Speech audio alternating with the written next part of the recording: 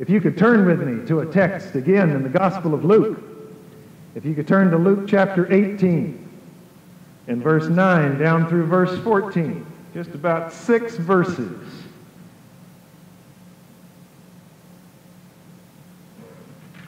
And this is short enough this evening that we can read this. Luke chapter 18, 9 through verse 14.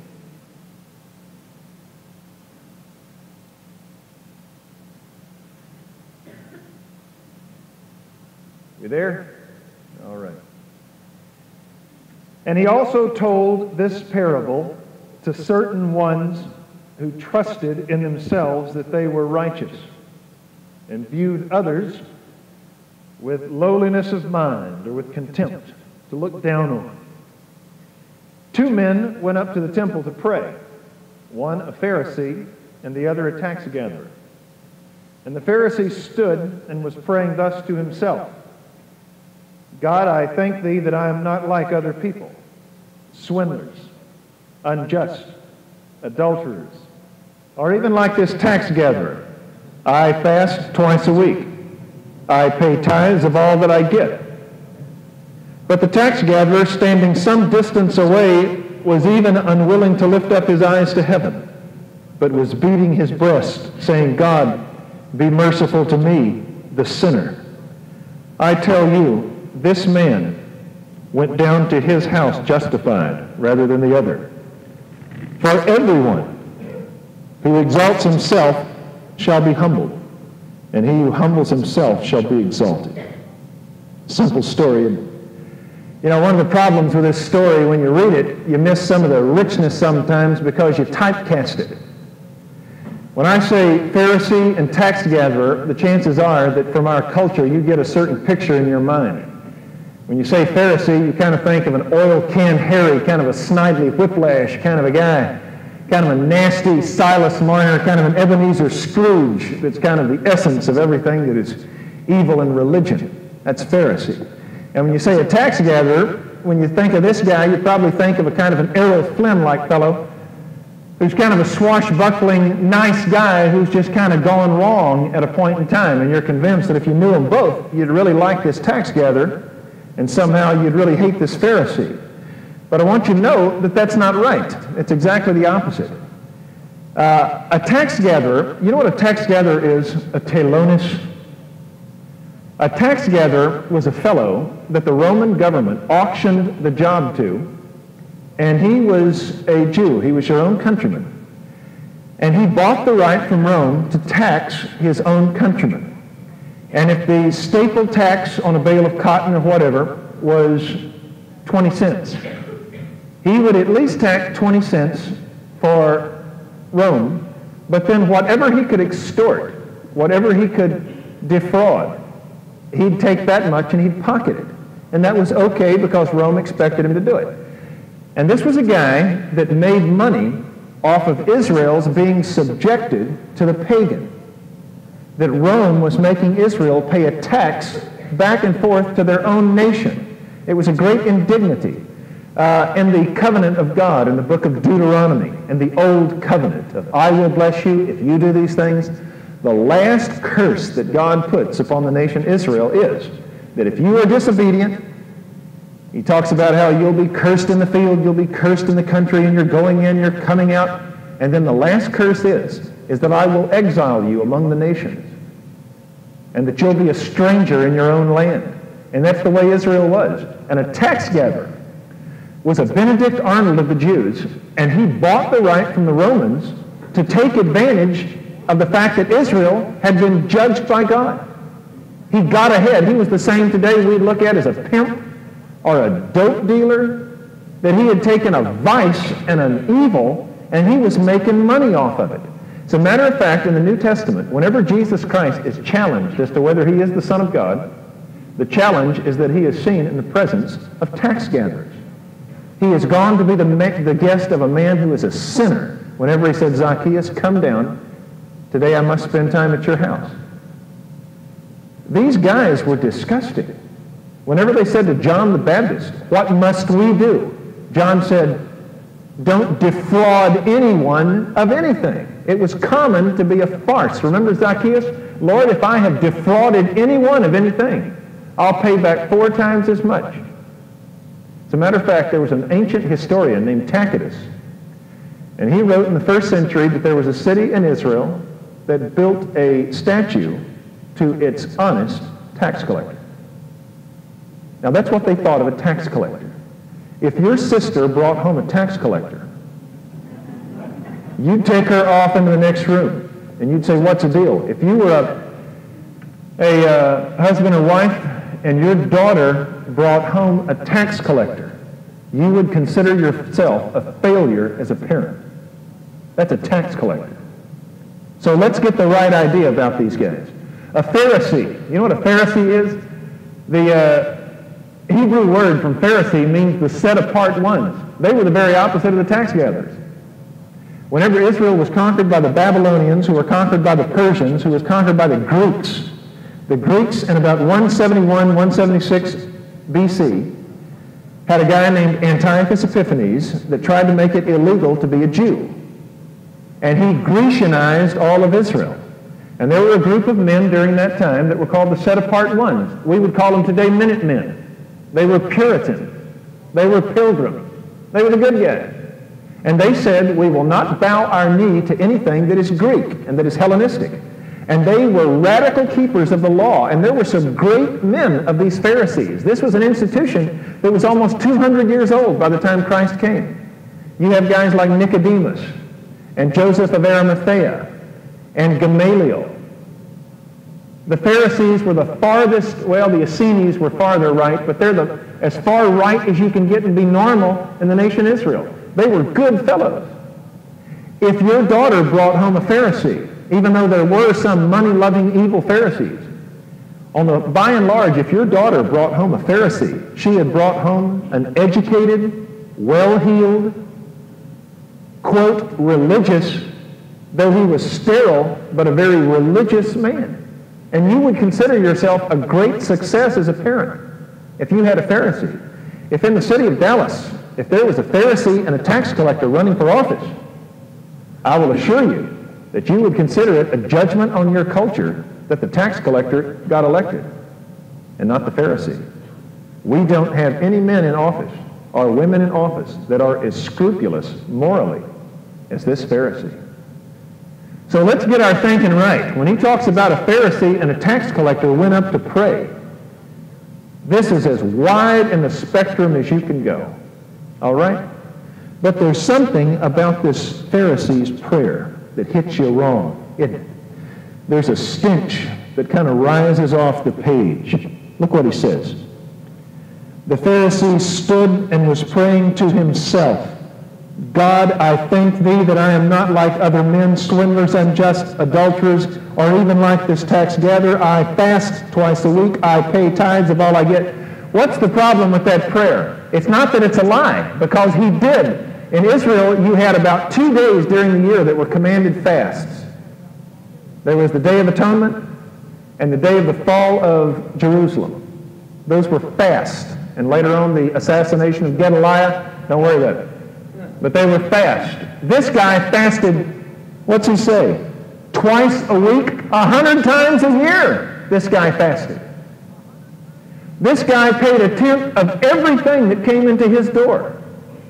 When this guy said, I am not an adulterer, I am not a swindler, I'm not unjust, that's not a lie, this is true. What is it that gives you a problem about his prayer? There's something about he prayed to himself. There's something about, I thank thee, God, that I'm not like other men.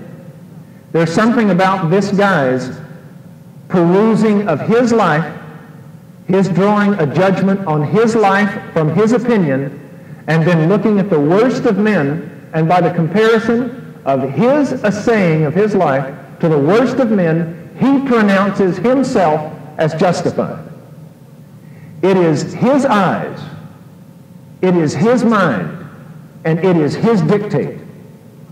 Pharisee, are you going to heaven? Yes. Says who? Me. How do you know? My cognizance of how good I have been. How do you know that's good enough? Because I have judged myself next to other men. There's something about that that stinks. It is called grace that has gone putrid. You don't see him called to the effect of God, thank you that you created in Adam or in Abraham and Sarah a nation, the Jews, of which I came from the barren womb of Sarah. There is no thank you, God, that you gave your redemption to Israel at the Red Sea. There is no thank you, God, that without your law at Sinai we would never know who you are. There is not thank you, God, that we who cannot approach you all approach you on the basis of the sacrificial animal. There's no recognition of his creation, his redemption, his forgiveness, his knowledge of God. All he is aware of is himself. It is grace that has gone putrid. The fact is he did have law and he did try to keep it because God had given it to him. And he did have a temple because God had given it to him. And he did have sacrifice because God had given it to him. But you see nothing of God. You get the feeling that all of a sudden, if God appeared to this guy, he would die in just this big holocaust of sin in the presence of God. He doesn't have anything to say about God. It's only about himself and others. It's the smell of grace that has gone sour. It's the smell you get if you ever get around some guy, some girl that was rotten in their old pagan life, but all of a sudden got converted and their life has changed and you get around them now. You ever been around these guys and there's kind of an insidious smugness. Yeah, I had all the problems. Now I got all the answers. You need them, you're in the right place, baby. And somehow you sense they have changed by the grace of God, but that grace has gone sour. You ever get around a Christian that has found a Bible church or a Bible study and is starting to learn some things? And they can pronounce the word propitiation. They know about the difference between the seals, the bowls, and the uh, uh, trumpet judgments of Revelation. They know what limited atonement means or does not mean. They've got some answers to what nobody else is asking questions. And somehow you get around these guys and you sense grace that has gone sour, that has gone putrid. Or maybe some kid that was raised by godly parents in a very fundamental church and knows his or her Bible, and it takes on a smugness. And you want to say, you know, you didn't ordain your family, you didn't ordain your church, you got plopped there, and you smell grace that has gone sour and rancid. When I was in high school, there was a kid named Maurice. We called him Mo. And he was the first Christian I'd ever been around. And uh, Maurice used to witness to me. And that kind of blew him off. I became a Christian, and in the meantime, Maurice had blown one marriage, and he was about to blow a second. His life had gone down this. Maurice had a lot of emotion, but he didn't have a lot of smarts. He didn't read his Bible, and his life kind of went like this. And now I became the part of the guy that was trying to help him. And he was living in adultery in the midst of his second marriage, about to bust it, which he did. And he would come to my house crying. And I would sit out in the driveway with him and I'd say, Mo, you got to turn this stuff around. And I'd plead with him, I'd love him, I'd hug him, I'd help him, I'd plead with his wife, give him a chance. And well, he messed it up again. And it was a few months after that that Maurice comes over to my house. And in the meantime, something had happened to Maurice.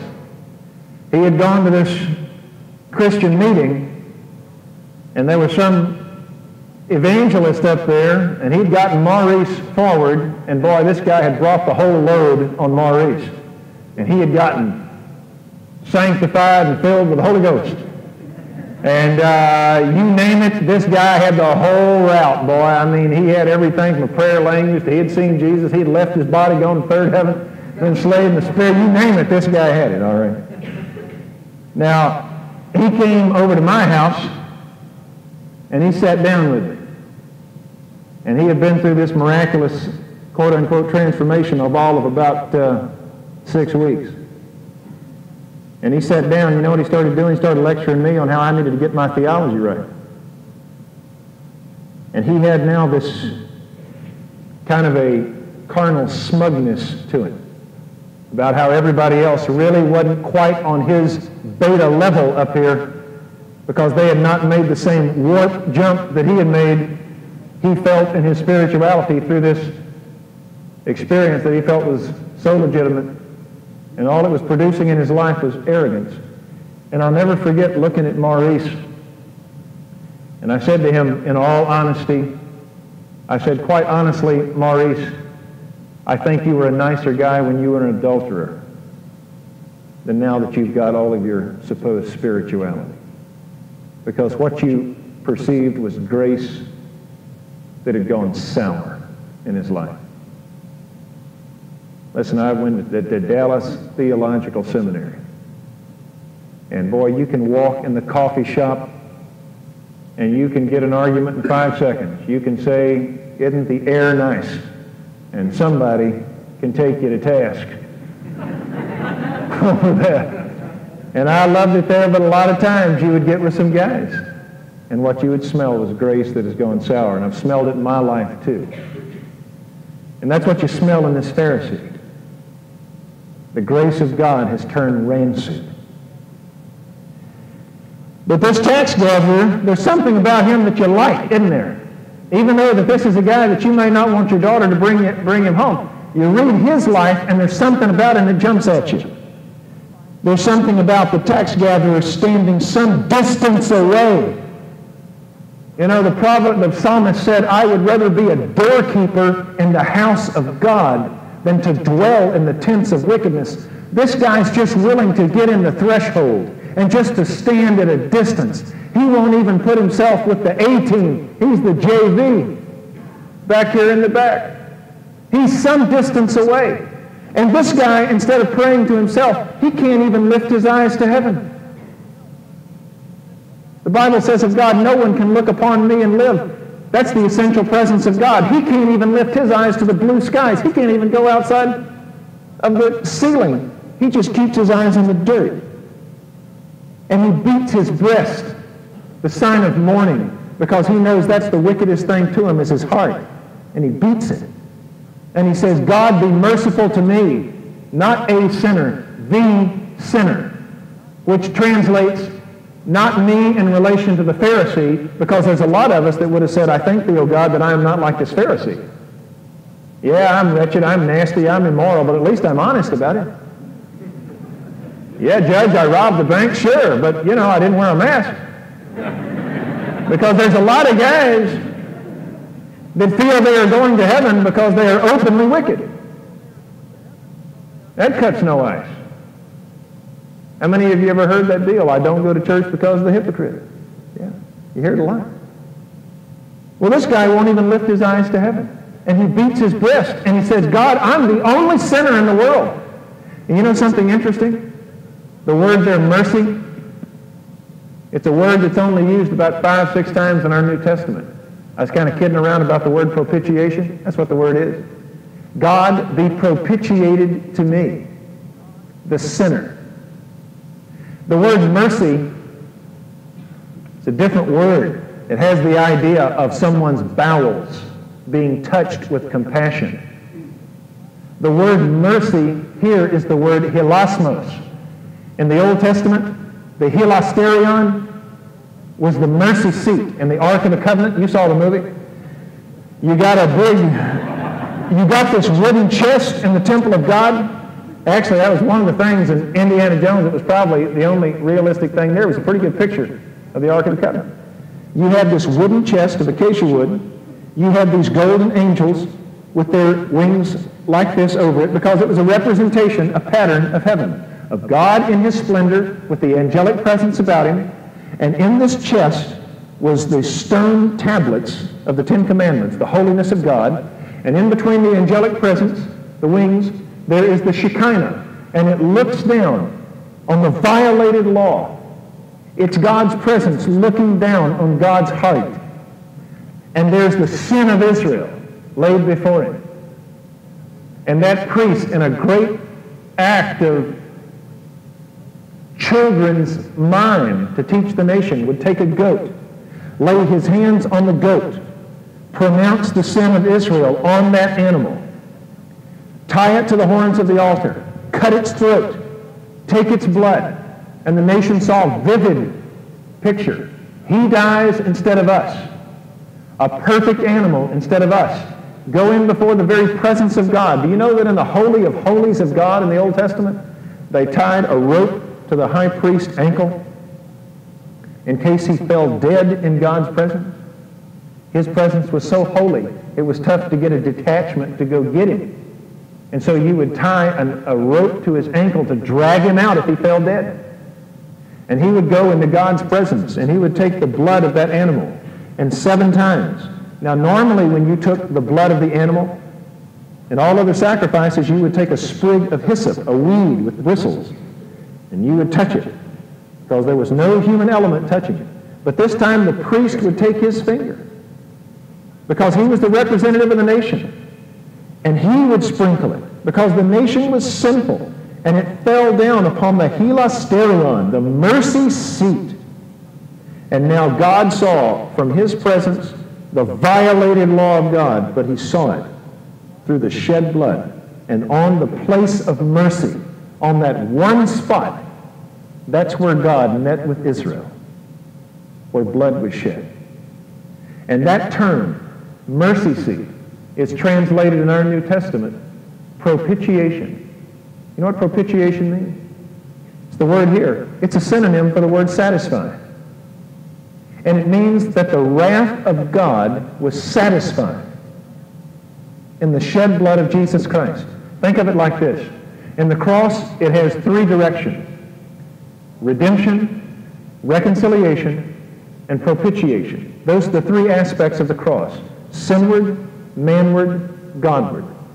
Sin, the wage of sin is death. The payment to sin has to be death. Christ died. He who knew no sin became sin on our behalf. One died for all. Therefore all died. He redeemed. He paid for our sin by the currency of his shed blood that is all God would accept. So the cross had a sinward aspect. The cross had a manward aspect. That when a person trusts in Christ, he goes from being a sinner to a son, from in Adam to the last Adam, being part of one in whom is condemnation and death to being part of one in whom is life and eternality. He is changed back. Kata, back, lasso, changed. Katalasso means to reconcile, to conciliate back, reconciliate. And it means that you are loved back to where you had never sinned. They said to Clara Barton once about a person that had offended her, they said, are you aware that he had done this? And this originator of the Red Cross, this great godly lady, said, I distinctly remember forgetting that. Now that's what it means to be reconciliated. I don't just love you, now get away from me, I forgive you. It's I love you and it's like you never did it. To be reconciliated is to be katalasso, to be lasso changed, kata, back to the way that you were And in purity, as if you'd never done it. And so the cross is sinward. We're redeemed. It is manward. We are changed back to complete acceptability. And the cross is Godward, that he is propitiated. Man is changed. Sin is redeemed. But God's holy wrath was expended on that person. The Old Testament Day of Atonement, Yom Kippur, or like we call it in Dallas, Yom Kippur. All right? If you ever meet a Jewish guy, don't talk about Yom Kippur. That's like talking about San Antonio, the Alamo or something, you know. It's rude. Yom, the day, kafar, of covering. On Yom Kippur, that was the day in October that Sandy Koufax would never pitch because he was Jewish. World Series. But on the Day of Atonement, that high priest like I said, would lay hands on that animal. And that one man at that one place, on that one site, on that one day, in that one way, would meet with God for atonement. And God taught Israel for 1,500 years. I don't blink at your sin. Someone must die a certain someone at a certain time, at a certain place, in a certain way, and there my wrath will be expended. Christ's death does not atone for sin. It does not cover merely. Christ's death, what did John the Baptist say? Behold the Lamb of God who bears away the sin of the world. The Old Testament covered sin. In Christ's death, he buried it, took it away, left it there. What did the cross do? It was sinward, it was manward, it was Godward. And that's the idea in the heart of this tax collector that the Holy Spirit of God takes and captures in the Bible. And that's the term our Savior applied to him. That what that tax collector said was, God, I can't look upon you. I'm standing at a distance. I can't go near to you. I beat my breast because that's my problem. God, be propitiated to me on the basis of the sin offering, on the basis of the lamb that died. Strike him, not me. And because of that, show mercy toward me, the sinner. If no one else in this world has ever sinned, God, I've sinned. I can't look at you. I can't come near you. All I can do is offer up a prayer. Jesus said, that fellow, in verse 14, went down to his house as if he had never, ever sinned. That's what the word justified means. It means that he is declared by an official judge with all knowledge, all wisdom, and with all punitive power. That judge declared him as not guilty on the basis of the shed blood of a substitute. That man went down to his house justified rather than the other. Why? Because the other guy never mentioned mercy, grace, forgiveness, or sin. All he did, verse 9, he told this parable to certain ones who did what? Trusted in themselves that they were righteous. This guy appraised his life. I, I, I. This guy drew his standard. Tax collector, adulterer, swindler, unjust. This guy made his pronouncement. I thank thee, O God, I am not like. Are you going to heaven? Yes. The biblical question is, says who? Says who?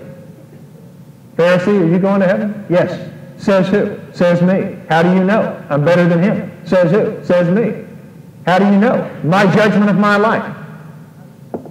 Pharisee, what's God think?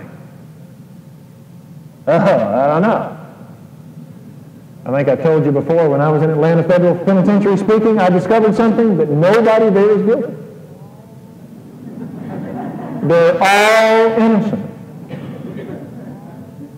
I talked to them. They had investigated their lives. They had made their pronouncement, and they were innocent. But when the gates opened, I was the only guy that walked out. Do you know why?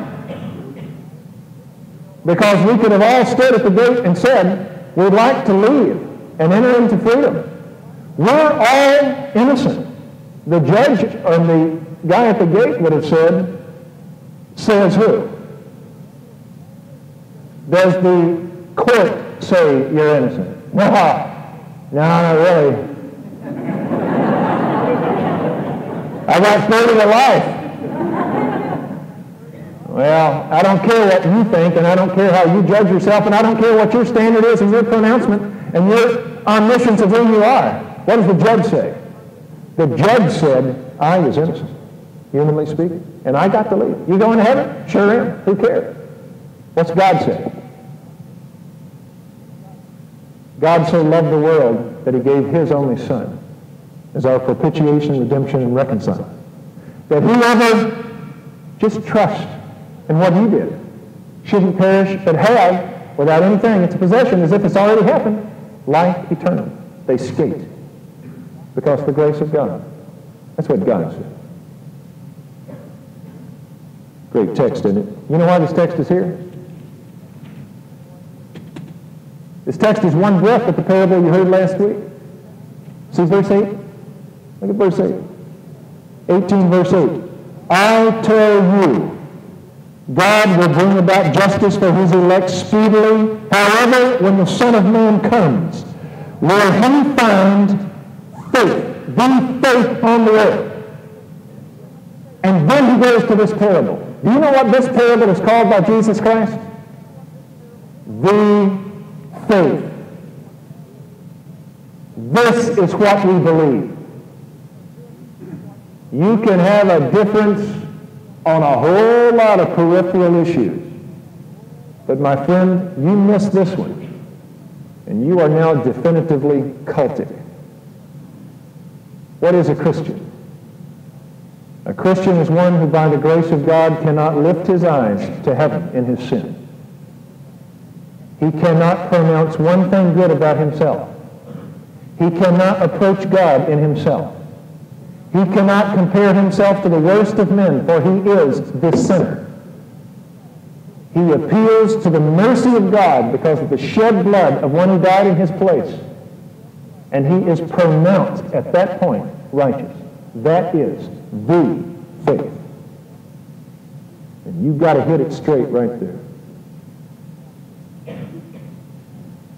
You know what's interesting about the Apostle Paul? And I want to apply this to you. I had a seminary prof that changed my life as much as any guy I've ever been around. Dr. John Hannah taught church history there, historical theology. And he said, fellows, let me tell you something interesting about the great men and great women of Christianity. He said, the older that you get in the faith, if you are truly growing, the more Calvinistic you should become. Now let me explain what that means. The older that you get in the faith, the more like males get set the fact that you and I were totally depraved. And by totally, I mean my mind could not come to the knowledge of God. My soul could not sense God. My body was cursed and dying. My emotion was not sensitive to it. You hear these guys share their testimony. I found the Lord. To which you want to say, I didn't know he was lost. It was not God that was lost. It was us. We were totally depraved.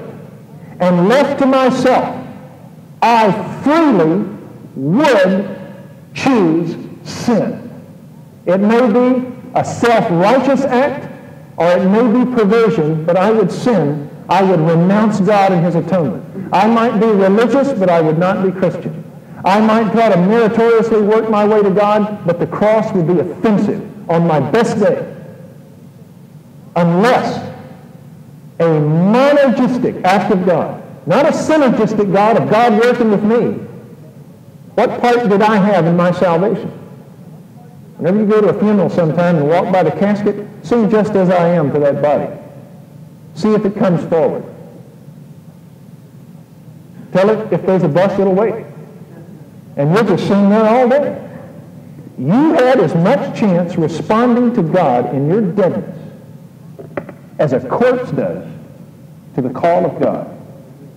You were dead. When we were dead in our transgressions and sin, in which we formerly walked according to the course of this world, the prince of the power of the air, and the spirit that is even now working in the sons of disobedience. But God, rich in mercy, because of his great love with which he loved us, even when we were dead in our transgressions, made us alive together with Christ. By grace you have been saved, and raised us up with him, and seated us with him in the heavenlies. For by grace are ye saved by faith. Not of yourselves, it's a gift of God, not of your works, lest anyone should boast. I think thee that I'm not like this guy. And that's what I mean, and I agree with it fully. The more mature a Christian is, the more crystallized it gets in our thinking that we were sinners. What does John Newton sing in his song, Just As I Am, or rather, uh, Amazing Grace? Twas grace that taught my heart to fear, and grace my fears relieved. Tis grace has brought me safe thus far, and grace will lead me home. It is the grace of God that we are saved. And that is why the older that a Christian gets, the more lowly in mind he perceives his righteousness. And the lower he perceives his ability to have saved himself, the greater God becomes and the more exalted his worship becomes. And the more fascinated that woman is, that man, with the person of Christ. And when they have fully understood the grace of God, then they are like Mary Magdalene. And they are weeping on his feet, letting down their glory to wipe it. They are like Mary of Lazarus, and they're breaking their alabaster jar and taking their best and pouring it on him because his death is a precious thing. They are like Mary Magdalene at the tomb, hanging on to him. I'll never let you go. That's when grace is not sour. You know, it's interesting. The Apostle Paul, writing in about 51 AD to the Corinthians, he said of himself that I am not worthy to be called an apostle because I persecuted the church of God. As a matter of fact, you know what Paul called himself? Listen to this. Christ has appeared to Peter, to James, to 500 brethren, most of them alive until now. And then he appeared as to a miscarriage, as to me. Those other disciples were nurtured through three years. Paul got converted like a miscarriage. Boom! He was there. He was off the donkey on the ground. And he was converted. How fast does it take to fall from a donkey to the ground? That's the conversion of the Apostle Paul. He said, I was a miscarriage. I came forth speedily. It was God's grace. Now that's what Paul thought of himself in 51. In about 64 AD, you know what Paul said of himself then? He was writing first, I'm sorry. Yeah, it's in his um, his first imprisonment, and he's writing to the Ephesians. You know what he said of himself then? He said, I am not worthy, or he said, I'm the least of all saints. That was it. I am the least of all saints. So he went from being not worthy to be an apostle, but I'm the lowest Christian because I persecuted the church of God. And then in his third to last letter in 1 Timothy, you know what he writes there just a couple of years before his death? It's a trustworthy statement, deserving full acceptance. Christ Jesus came into the world to save sinners, among whom I am chief. Number one. I am number one. I am number one. That was the Apostle Paul. I'm the chief of sinners because I persecuted the church of God. Paul never forgot to the end of his life that while we were yet enemies, Christ died for us. And that's the way we should be. The older you get as a Christian, the lower you should perceive your ability to have saved yourself. The higher the grace of God, the farther he had to reach, the deepest he had to bring you from, the height he had to bring you to. Isn't that great? Grace gone putrid. Watch this. Don't worry about right there. Go to Isaiah, and I'm going to show you just quickly an Old Testament coordinate. Now you say, well, that Pharisee was a pretty wretched guy. The Apostle Paul was a pretty wretched guy when he was Saul of Tarsus. How about Isaiah? Chapter 6. Isaiah was a pretty fair guy. He wrote a book that spanned 50 years, about six kings, 66 different chapters. He saw the glory of God. He would be an interesting guest speaker. This guy's got some credentials. Watch this. Threadbare text, but just stay with me. Isaiah 6 and verse 1. I'm overwhelmed with this text. In the year of King Uzziah's death, King Uzziah ruled for 52 years. To the best of my knowledge, there was only one other king that ruled longer than him. What's 52 from 93? 19 what? 41? Right? That's good, man. I'm looking at the wrong guy, Doug. All right. 1941, World War I was going on. And this guy was king. You know, the longest reign we had was FDR. That was about, you know, three terms plus. This guy is 52 years. The king is dead. It's a barren time for Israel. I saw the Lord sitting on the throne. Here's the King of kings. Here's the Lord of lords. Here's the one that is deathless, to whom belongs immortality. I saw the Lord on the throne, lofty and exalted, the train of his robe filling the temple. In those days, the way that a person by protocol would show their greatness was by their robes train. And kings would have trains that were of great length. This king's train in the heavenly court goes from his throne up the back wall and fills the entire temple. And that's all that this man can see of his train. Do y'all remember whenever Moses said to God, I want to look at you, show me your glory, and God said, you can't look at my face, no one can look at me and live, and I'll put you in a rock beside me in a cleft of it, and I'll cover you with my hand. And what did Moses see? God passed by, and he saw his train, his hindmost part. That is all that man can see is God's going by and what God has declared himself as being and doing. We can only look at the train of his robe. Moses said, what's your name? God said, Eye, sir, Eye. I will be what I will be, i.e., you can't know me. I'm beyond you. I'm holy. I'm the holy other. I'm apartheid. I'm infinite. You're finite. I'm great. You're lowly. You can't know me. And you can't mutter and think through who I am. I will be whom I declare myself as being and reveal myself as being. And only then can you know me. And Gautama can sit under the Bodhi tree until the cows come home. Joe Smith can sit in the forest until the Mets win. And he ain't going to know Eye, Ser Eye. Jesus said, I am the bread of life. Now we see who God is.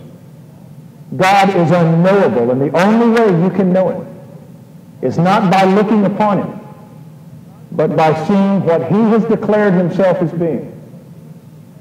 And so he sees the train of his robe, this great king. Verse 2, burning ones, seraphim. That's what a seraph is. It's a burning one. Our God is a consuming fire. And these burning ones from his presence stood above him, each having six wings. With two he covered his face, with two he covered his feet, with two he flew. That's the way you did in the presence of royalty. Do you know that? When you went in the presence of royalty, you bowed and you covered your face, you couldn't look on them. And you would cover your feet. The ugliest thing about you, your dirt and your face, you would cover. You would kneel and you would put your face to the ground. And these angels in God's presence can't look upon him. Not his essential glory. They're finite beings. And with six wings, they cover their face. They cover their feet. We have a, historically it is said that the salute came from soldiers in the presence of the queen when she would survey her troops. And they would shield their face from her glory. That's the salute. Historically, when little girls would be in the presence of nobility, what would a little girl do to cover her feet? She would curtsy and she would place her dress down on her feet. These are angels curtsying and saluting in God's presence. They can't look upon it. Verse 3, one called out to the other and said, and this is what's called antiphonal singing. One angel cried out, holy, and the other cried out, Holy. And the other cried out, Holy. And the other cried out, Holy. This is the only song they sing in heaven. It's a one-verse, one-word song. Holy. It's the only attribute of God that's mentioned three times. Thrice holy God. The word kadash in Hebrew means to separate.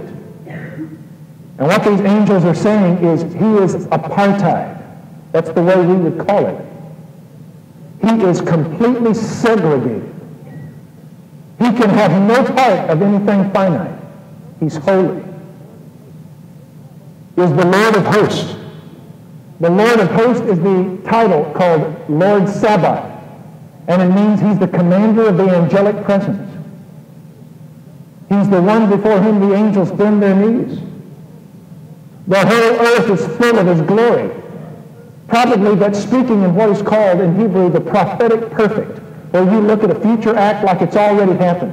The Old Testament says on three occasions, As I live, says the Lord, the whole earth will be filled with the knowledge of the glory of God as the waters cover the sea. And these angels look at the king in his reign and his majesty, that it's already happened.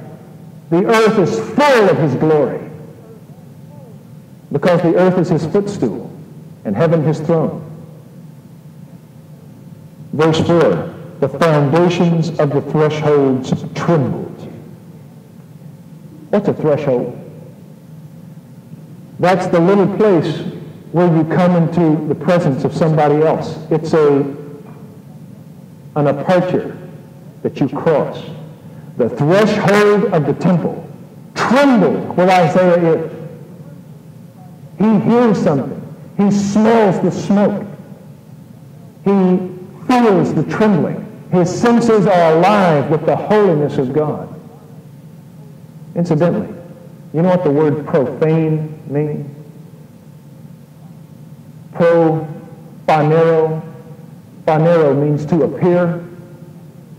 Pro means to appear before. The word profane has the idea of someone walking into the presence of a mighty person and crossing. As a matter of fact, the word profane in the New Testament is the word bebelos that means threshold. Profane means that you appear before somebody like they meant nothing. Whenever the president is in town, try to walk up to him. Hey, Bill, what's happening? See what happened? Some civil service guy or Secret Service guy stick a gun right in your nose. And he will say, don't you try to appear before the President of the United States. They talked in England about when that guy snuck into Buckingham Palace, into the Queen's bedroom, sat on her bedstead, and chatted with her. England was aghast that a commoner had profaned the Queen. No, the threshold trembles. You don't profane God. Hey, what's happening, God? It shakes. Verse 4, or verse 5, here's what he does. In seeing, smelling, hearing, feeling the holiness of God, what would an American do? He'd have grabbed his camera. Man, I got to get this.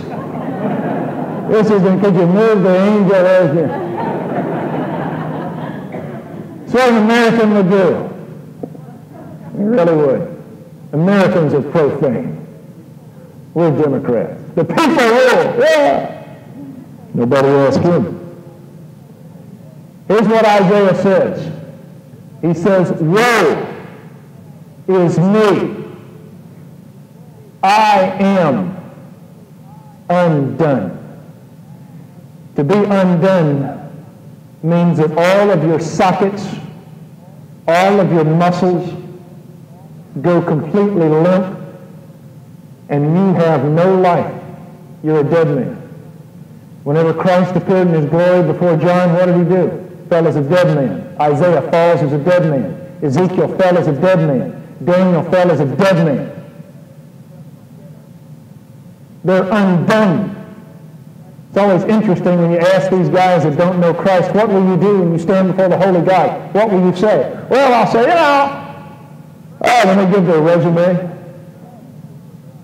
in the presence of the holy God, there will be no appearing before him. There'll be no profaning of it. The thresholds will tremble. Men that are not covered in the blood of Christ and women that will simply become morally disintegrated, they will fall. The Lord is in his holy temple. Let all the earth stand silent before him. Nobody says anything. He says, woe is me. I am disintegrated. I have nothing to say. I have nothing to do. I'm condemned. Because I am a man of unclean lips. See, your mouth always dredges out of your heart. How many of you, if I said this evening, we've got a surprise for you. Today, at random, without your knowing, we taped 45 seconds of the random conversation of one of you. And we just like to play it here this evening. I haven't listened to it myself. If I went to punch that and we listened to 45 seconds of your conversation, how many of you would be beseeching God that it might be someone else, not you? Because the man speaks out of that which fills his heart and our mouth is guilty of profanation, of coarse jesting, of cursing, of slander, of gossip. You name it, our mouth can articulate it. You know, a mouth is an amazing thing. It's the only muscle in your body that's unattached. And you can take a diaphragm and compress it. You can force air up through this voice box. You can take these little chords and you can vibrate them uh, and you can get a column of sound. You can send it out on airwaves and these things right here can pick it up. They can run it through here and you can take a column of sound and you can shape it through hard and soft palate and vowels and consonants and you can take cut and button, button, button, and all that stuff and you can round it together with A-I-E. All right? You can take that column of sound like ceramics and you can shape it into where you can take your heart, put it out in the air, and you can put it in somebody else's heart. And you can say to somebody, I hate your guts. or you can say, I love you, and I can make them feel any way I want. Your mouth is a barometer of your soul.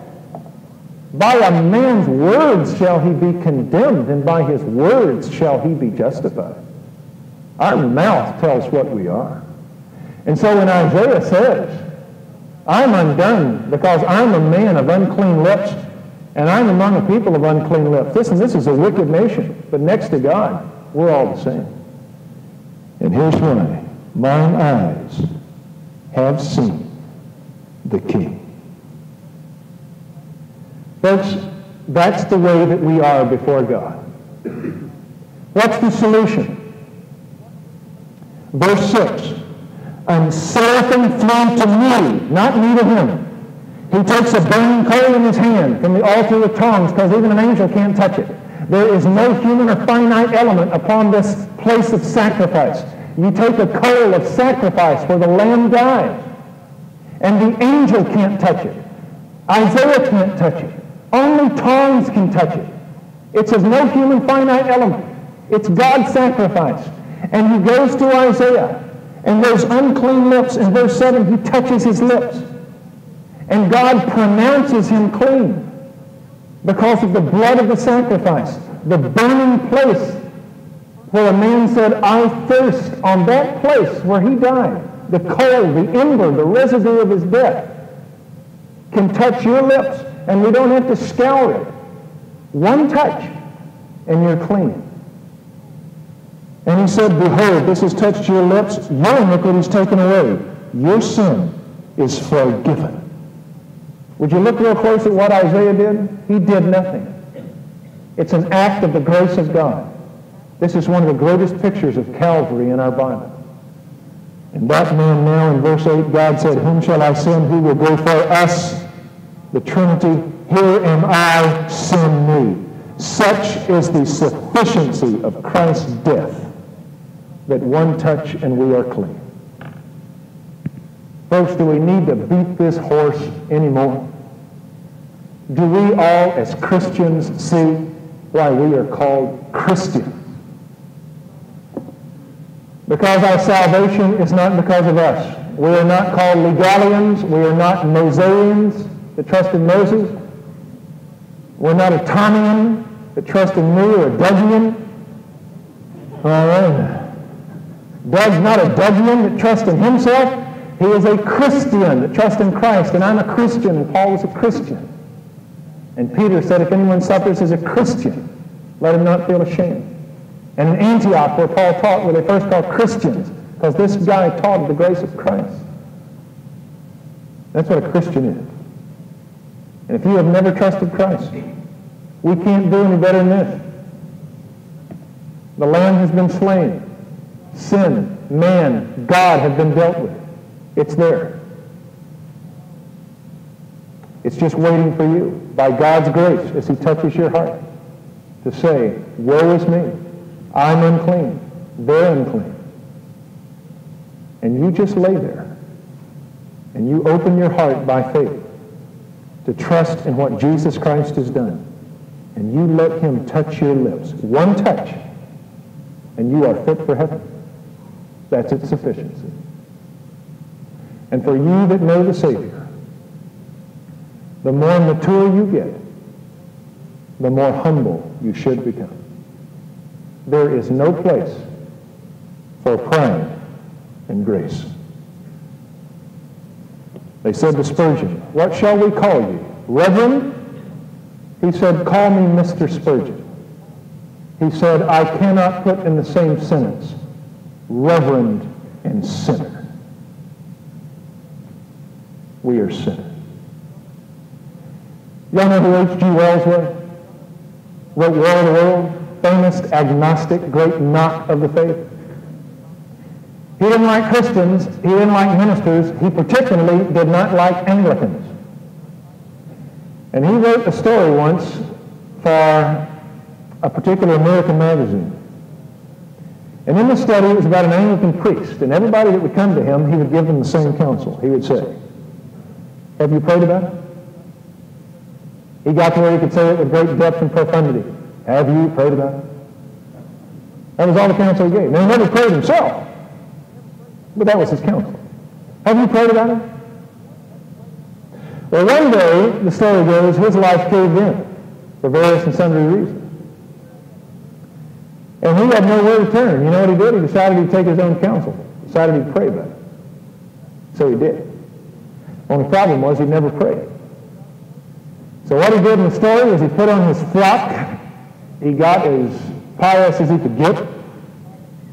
He went into his chapel late at night where no one would see him. Got all the candles ready. He walked up the aisle. The carpet crunched under his feet. He knelt at the prayer rail. Velvet crushed under his knees. He positioned himself, cleared his throat, looked around the ceiling for a place he felt would be an appropriate place to speak to God at focused on the place in the corner. He lifted up his voice and he said as piously as he could, God.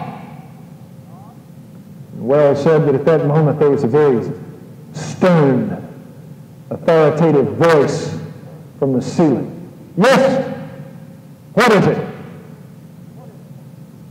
The scene changes. The next morning his parishioners came in. And they found their priest face down on the floor, dead. And they took him and they rolled him over. And Wells, in his manner, said his eyes were wide in terror. Story. The point of Wells was quite well taken as a non-Christian perceiving Christians. His point was, these Christians that speak of God and speak to God, they would be terrified if they ever met him. Be merciful to me, O God, the sinner. Well, let's pray.